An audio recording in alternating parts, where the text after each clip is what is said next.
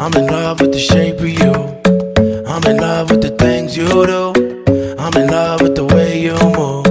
I'm in love with the shape of you. I'm in love with the shape of you. I'm in love with the things you do. I'm in love with the way you move.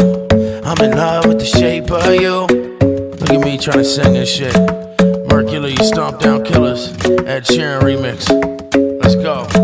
I said, hold up, hold up for a minute. I said, hold up, hold up for a minute. Hold up for a minute. One, two, one, two, one, two. Alright, fuck it, I'm going in.